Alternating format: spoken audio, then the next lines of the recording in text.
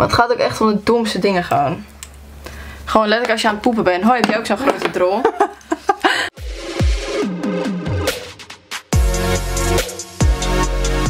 En welkom bij deze nieuwe video. Vandaag is het een keer geen weekvlog, want ik heb vorige week een weekje niet gevlogd. Maar ik dacht ik moet deze video wel inhalen. Dus ik zit hier met Nora. Hi. En eh, voor de mensen die het nog niet weten, dit is mijn zus. Ehm, sommigen zeggen dat we elkaar lijken, sommigen zeggen van niet. Ehm, anyways, we gaan nu een... Either way. Either way. Wij gaan nu een make-up video, Get Ready With Me maken. Met daarin een beetje vragen beantwoorden. En een beetje gezellig kletsen van alles en nog wat. Puur omdat jullie altijd om een Q&A vragen en om een make-up routine. Want ik zette laatst in mijn story mijn make-up look. En iedereen was gelijk van wow. Wow. Wow. En jij hebt volgens mij ook wel je draai gevonden in je look. Ja. Dus ik dacht we gaan dat eventjes doen. Ik heb ten eerste mijn make-up altijd in, in dit. Waar heb jij het in? Nou, tegenwoordig in deze. En wat als je weg gaat, neem je een doos mee. In elke doos mee. Je lult. Nee. Oh, echt? Ja. Oh. Ja, ik heb het in zo'n tasje van de Douglas. Hij is wel al kapot, maar hier doe ik altijd mijn kwast en hier gewoon make-up. Very handy. Volgens mij is hij ook niet heel erg duur. Maar ik ga het er nu wel allemaal uitgooien, zodat het lekker ligt. Ik pak er ook een beetje water bij, want eh, we moeten wel hydrateren, jongens. Cheers, mum. Oh, ik heb water met ijs zo vies. Ah, maak geen grap. Ik dacht vet lekker. Maak voor ons een beetje water met ijs. Ik heb trouwens ook net mijn haar gesteld. En ik heb gisteren een zelftan opgedaan die in de nacht blijft. Jij ook. Maar meestal doe ik dan eventjes een cremmetje. Zodat ik alles een beetje verspreid wat niet helemaal goed is gepakt. Werkt niet, maar ik doe alsof het werkt. Ik doe dat niet, want het werkt niet. Dus. Nee. Maar je moet doen alsof het. Ik heb het dus gisteren gesteld en er zit nu al een bobbel in. ik heb op mijn Instagram ehm eventjes wat vraagjes. Nee. Nee. Oh. Jawel, ik heb gevraagd of jullie vragen hebben. En die vragen gaan we nu bevragen. Grab je. Oké, ik dacht we gaan... Ja, ik wil niet echt een Q&A doen, maar ik dacht we kunnen meer... Dingen bespreken. Ja. Iemand vraagt of we soms het sociale, sociale media leven beu zijn. Nou, eh, to be honest, ja. Maar dat is meer omdat er zo snel geoordeeld wordt of zo. Ja, zelf heb ik dat niet echt. Maar ik vind het wel af en toe heel vervelend om te zien wat ze allemaal over jaren zeggen en zo. Dus dat vind ik heel vervelend, maar voor de rest... Nou, het is meer gewoon, er wordt een heel klein deel van je leven, zeg maar, online gezet. En dan kan net het verkeerde deel wel geplaatst worden, of... Ja, Of niet. ja of niet. Mensen die hebben altijd zoiets van, oh, wat ze plaatsen is alles wat ze doen. Dus Ja. ehm, dat zal dan wel hun hele leven zijn. En op basis daarvan gaan ze oordelen. En dat is ook heel logisch, dat doe je zelf ja, dat doe ik zelf ook. Alleen, dat is af en toe wel heel vervelend. Ja, en op social media denkt iedereen dat ze maar kunnen zeggen wat ze denken, zeg maar. Ja. Dus dat is ook wel iets waarvan ik denk, als je op straat loopt, nou mensen zijn tegenwoordig ook heel brutaal moet ik zeggen, maar ik bedoel meer zou je minder snel wat over iemand zeggen dan, als je dat, dan dat je dat op social media doet. ja. Ik draag eigenlijk echt bijna nooit meer foundation, maar ik wilde vandaag foto's maken. Dus echt weer... Ja, leuk feitje. Ik heb dus zelf deze foundation. Even zoeken in mijn grabbelloos. Ik heb deze van Estee Lauder en dit is echt Oeh. Look at that. Ja? Nee, werkt volgens mij niet. Maar dit is de Double Wear. Ehm, een, van de meest bekende van Estee Lauder. Of überhaupt een van de meest bekende. Maar ik hou niet mega erg van foundation als in het dekt te veel. Maar toen zag ik dus online bij eh Shada, ik weet niet of je het zo zegt, op TikTok dat zij deze had. En dit is de Double Wear Nude. En dit is zeg maar een oliëre versie van... Een oliëre versie, ja toch? Een meer ehm, BB cream-achtige versie dan van deze. Dus die probeerde ik, maar mijn huid krijgt er alleen maar pukkels van. Dus ik ben weer overgegaan naar de ander. Thanks. Ja, ik vind die zo mooi, die foundation. Maar ja. Ja, maar die... Maar zo'n zelf, dan heb ik eigenlijk altijd zoiets van... Oké, dan hoef ik eigenlijk al geen foundation of zo meer op. Want mijn huid, als je gewoon een tintje... Ja, dat heb ik ook op Gewoon een vakantie. tintje hebt, zeg maar, dat is zoveel mooier. Ja. Ik doe meestal dan alleen nog iets van een concealer of zo. Maar puur om het even wat egaler te maken. Want met een self-tan soms een beetje vlekkerig kan zijn. Ja, en dan een cream bronzer meestal. Ja. Die sproet die ik hier aan de binnenkant heb, die is zo vervelend. Want telkens denk ik van, oh wow, ik heb nog mascara in mijn ooghoek. Oh. But it isn't. Body isn't. Ja, ik gebruik ook deze concealer. Eh, echt echt een top concealer. Maar hij begint dus een beetje Maar dan begint ook een beetje op te op te raken. Dus ik moet echt even een nieuw halen. Maar ja, Eigenlijk droogt hij ook gewoon een beetje uit. Maar oh ja, bij mij niet. Maar weet je wie er te lui daarvoor is om een nieuwe te halen? wij. Me. Ja. Oh. Vind je jezelf veranderd ten opzichte van vorig jaar? Ja. Vind jij jezelf veranderd? Ja. Maar in welk Maar niet opzicht? qua uiterlijk hoor. Nee, maar qua wat dan? Nou, ik voel mezelf wel vorig jaar iets gelukkiger, denk ik. Oh, dat stond dus misschien alweer twee jaar geleden. nee, maar de- ik kan nou niet zeggen dat corona een goed effect op mezelf heeft gehad. Nee. Maar goed, dat denk ik dat bij heel veel mensen op zich wel zo is. Ik bedoel, je ziet opeens vet weinig mensen nog. Ehm, ja, ik wil niet zeggen dat je ontiegelijk gelukkig wordt van feestjes of zo, maar gewoon afspreken met vrienden en dat soort dingen vond ik zelf altijd wel hoogtepunt uit mijn leven, zeg maar. Ja, true that.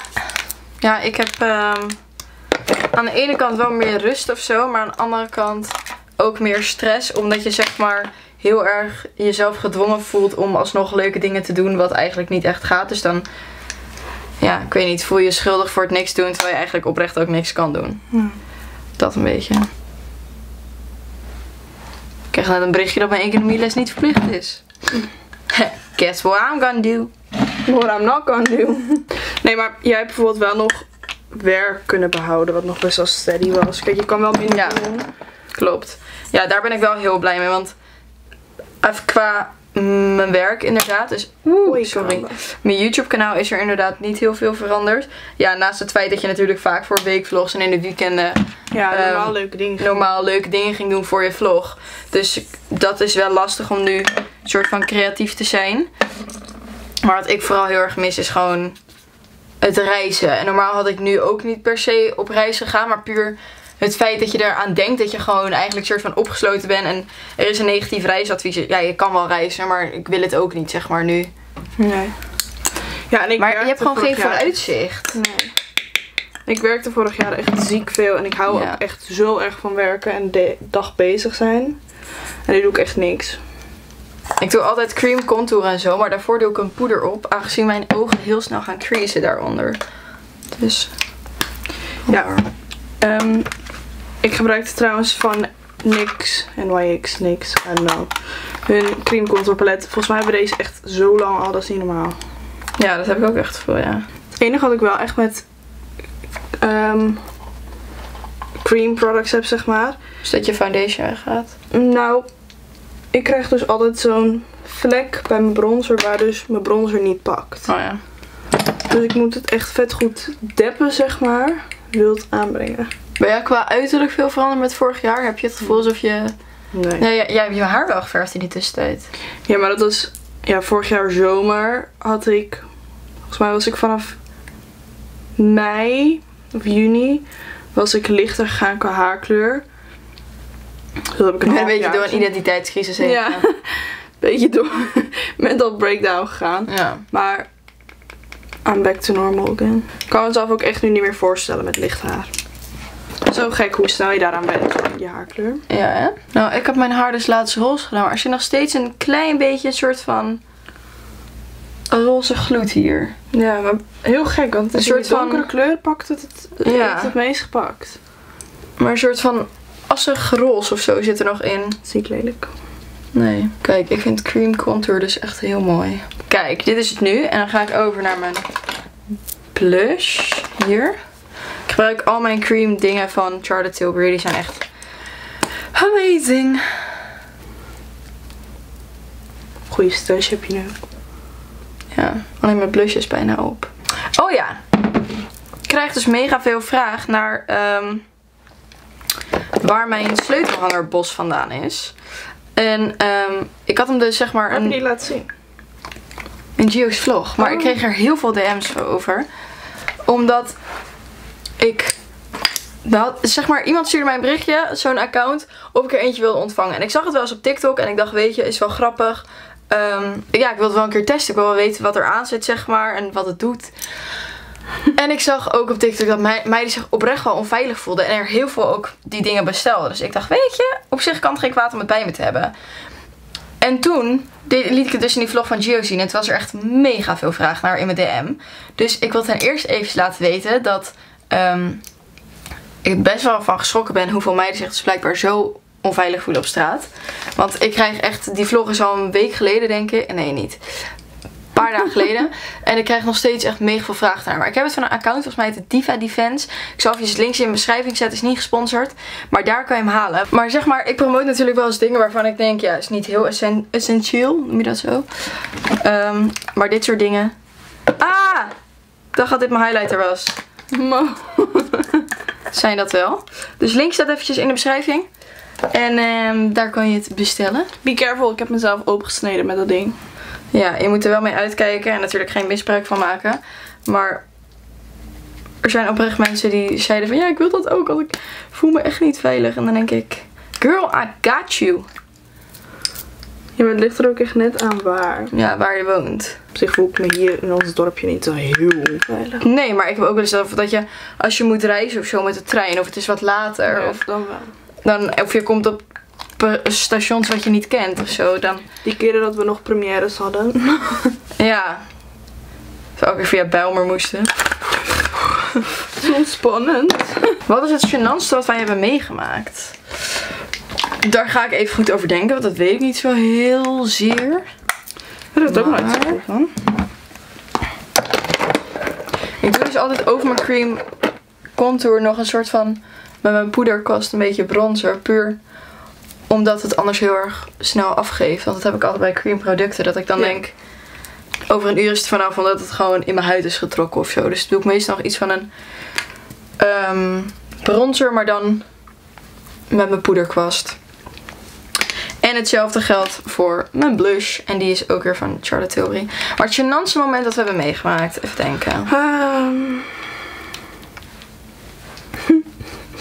Je nog die ene keer in de McDonald's? Ik wilde die ook zeggen. Gewoon dat zijn awkward dingen. Dat is denk ik wel waarvan ik denk, oh dat is echt ongemakkelijk. Ja, ik was in McDonald's, ik weet niet hoe oud ik was. En toen ehm, stond er een man in de rij en mijn vader was ook aan het bestellen. Dus ik kwam terug van de wc of zo, dus ik wilde naar, naar papa toe. En toen pakte ik iemand zijn hand en ik zo, pap. En toen keek ik, het was helemaal niet mijn vader. Nou, ik wist niet hoe snel ik weg moest zijn. Dat was zo grappig en ik zat echt met Robin vanaf een afstandje te kijken van... ai. Gaat ze dat echt doen? I did that. And you do too for a check. Daarom, weet je. Maar dat is ook ehm, heel lang geleden. Ik kan me nu niet echt voorstellen van, oh mijn god, hoe gênant. Maar ik heb wel heel vaak dat het gewoon awkward is of zo. Ja. Als je nieuwe mensen ontmoet, dat je echt denkt van... Klopt. Maar ik ben ook soms best wel Maar awkward. dat, ja, ik ook. Ik ben sociaal, maar ook sociaal ongemakkelijk. Wij kunnen het met z'n tweeën ook heel ongemakkelijk maken. Ja. Als we in een gesprek met iemand zijn en we herkennen wat of zo, dat we dan samen gaan lachen. En dat ik denk, oh, maar die lijkt alsof we diegene uitlachen. Dan denk ik, ja, maar nee, ja. En dan moet je dus Nou, gaan uitleggen van, Ja, is het niet- ligt niet aan jou. het is niet jij, maar ehm, ja, het zijn gewoon een beetje gek. Ja. Meestal doe ik trouwens mijn oogschaduw met mijn bronzerkleur. Oh, jij ook. Die muur leunt echt lekker. Ja, hè? Ik zit er ook echt tegenaan. Oké. Even kijken. Welke superkracht zou je willen hebben? Goeie vraag, goeie vraag. Ehm, ik zou wel ehm, helderziend willen zijn of zo. Of vliegen. Kunnen teleporteren of zo. Ja, zoiets. Gewoon heel sterk zijn. Ja, maar ja, wat heb je daaraan? Maar niet heel veel. Maar Ik wil gewoon vanuit, eh, vanuit Marvel, zeg maar, dat je, gewoon, dat je gewoon dat super serum krijgt. Dat je gewoon heel snel, heel sterk, dat soort dingen allemaal. nee, ik zou, nee, ik zou echt maar gedachten willen lezen. Ook niet denk ik er Nee, ik zwaar. denk, ik ga huilen dan. Ja. En dan één, is er iemand en die dan Iemand die je haat en dan zij is echt een stinkwijf. En dat je dat dat iemand langs loopt en dat je denkt van, ah, ze kijkt echt lief. En dat je er de gedachte hoort en dat ze zegt, wow, die is lelijk. Ja. Pol. Poh. Nee, ik begin te huilen, wat is er? Niks. Nee, laten we dan maar gewoon... eh, Teleporteren is ook wel Ja. heel fijn. Gewoon vliegen. eigenlijk echt slecht. onder water kunnen ademen of zo. Lijkt me ook lijp, man, eerlijk. Ik dacht dat dit een dopje was die eruit komt. Dat ik dan kon. Oeh. I don't know. Ik krijg heel veel vragen over de hotelschool. Waarom je erheen wilt, wat het inhoudt. wat je ervoor hebt gedaan. Ga ik lekker niet zeggen. Nee, nee, nee, nee, nee. Nee, eh, wacht heel even. Dit is echt een geconcentreerde taak, anders dan prik ik echt mijn ogen uit. Nee, de hotelschool is een eh, managementopleiding. En zij zijn dan vooral ge... Denk. Echt dat er iets naar beneden kwam. Zij zijn dan vooral gespecialiseerd, specialiseerd, gespecialiseerd op ehm, hotelniveau, zeg maar. Dus alles wat je aangeleerd krijgt eh, is in vorm van het hotelleven. En eh, die opleiding duurt vier jaar. En daarna heb je gewoon een hele goede managementstudie afgerond. En ik ben zelf echt super erg fan van horeca. Ik werk dus ook al ondertussen drie of vier jaar in horeca. Dat vind ik super leuk. Dus ik wil later sowieso daar een baan van maken. En dan graag manager zijn ergens in een restaurant of hotel. Dus vandaar. Ja, wat houdt in? Nou, het eerste jaar ga ik dus intern. Dus dan ga ik in eh, Scheveningen wonen. Super leuk. Heb ik echt heel veel zin in. En dan de rest ehm, van de jaren. Op een gegeven moment moet je nog op stage naar het buitenland. En daarna woon je gewoon waar je zelf wil wonen. Maar ik denk dat ik zelf op zoek ga naar een huisje dan in Den Haag of Scheveningen. Dus ja, dat. Super leuk. Oké, oké, very Thumbs nice. up. Nee, ja, dus eh, dat. En naar mijn opleiding, mijn plan is om een tussenjaar te nemen. Eh, ik heb hier heel lang eigenlijk niks over gezegd, zeg maar. Omdat ik ook niet helemaal zeker wist wat ik wilde. Eh, dus ik heb altijd zeg maar voor me gehouden dat als ik een studie wil doen, dat ik dan iets van creative business of zo wil. Maar ten eerste zou ik gewoon oprecht niet weten wat ik wil doen. Ehm, ja, ik heb gewoon geen idee. Ik, ik zou wel ehm, iets in de media willen doen, maar wat ik er daarna mee zou doen, I don't know. En op dit moment gaan mijn social media kanalen zo lekker. En ik ben er, ik ben er zeg maar echt heel blij mee. Gewoon met het werk dat ik nu kan doen. Dat ik denk, ja, het is zonde om het nu op te geven en daar iets anders voor te doen. Dus vandaar dat ik eh, hier eventjes voor gekozen heb. En misschien dat ik ehm, over een half jaar wel denk van... Wow, ik verveel me helemaal te pletter. Want normaal ga ik natuurlijk gewoon elke dag naar school. Ehm, dus ik wil wat gaan doen dat ik dan een studie ga zoeken. Of misschien denk ik wel... Ik ga nooit meer terug naar school. Ik heb helemaal wat draai gevonden. Maar dat gaan we dan wel zien. Maar ja, dat is dus mijn plan. Maar eerst mijn examens halen. Wat zijn onze voor- en nadelen aan elkaar? Ehm, wij zijn heel erg hetzelfde, maar ook heel erg tegenstrijdig. Ehm, wat betekent dat wij dus zeg maar ehm, heel geïrriteerd kunnen worden om hetzelfde gedrag dat we vertonen. Oh ja, dat is echt zo. Wat we allebei vet erg doen, is elkaars kamer binnenlopen. Vervolgens kleding zoeken, de hele kamer overhoop halen Ja. en dan weglopen. En dan op elkaar vet boos worden van, je hebt mijn kamer echt als een troep achtergelaten. Nee, maar ik heb het altijd met mijn kamer. Terwijl ik bij jou altijd zeg maar je föhn pak of zo en dat blijft laat liggen. En jij doet dat altijd met mijn kleding. En dan kom ik jouw ka mijn kamer in en dan ligt mijn kleding zeg maar zo uitgepeld uit mijn kast. Nou, dan kan ik echt helemaal, helemaal... En zij laat altijd echt mijn bed achter kleding. En Ja. overal haarspullen en zo. That's Spiegel helemaal verdraaid. Dus dat, dat, dat is echt wel. Dat is wel gewoon echt eh, jammer. Onze voordelen aan elkaar. Ehm, we kunnen er beide net zo slecht tegen als we langer dan een uur van elkaar weg zijn. Ja, wij hebben echt de hele dag door. En dan zeg maar, ik ben heel slecht te reageren op WhatsApp. Maar Noora kan ook soms gewoon heel lang aan het werk zijn en dan niet reageren. Dus dan is het hallo, hallo, hallo. En dan boos worden als de ander niet reageert. Dat is ook de vraag van wie heb jij zoveel? Ja, maar weer Ja. aan het appen. Altijd als ik op de CarPlay zit of zo, komt de hele tijd gewoon Noora, Noora, Noora. Maar het gaat ook echt om de domste dingen gewoon. Gewoon letterlijk als je aan het poepen bent. Hoi, heb jij ook zo'n grote drol? kan. Dat is echt een leuke Ja. Ehm, mijn camera is eh, vol, dus ik ga even mijn mascara doen. En als we klaar zijn, komen we bij jullie terug. Want dan zijn we helemaal klaar, toch? Ja, alleen nog Ja. lipstick. Oké, I'm back. Maar ik was even vergeten dat ik altijd nog wat doe. En dat is met een kwassie die je niet moet gooien. Zo eentje. En dan pak ik een zwarte oogschaduw. Want ik heb dus eerst aan de buitenkant een lijntje gezet met oogschaduw. En hetzelfde doe ik aan de binnenkant. Doe ik een oogpaletje. Heb ik zwarte oogschaduw. Ik kan ook gewoon alleen een zwarte oogschaduw. Daar heb je niet een heel palet voor nodig. En dan doe ik zo. Ehm doe ik zo het kwassie.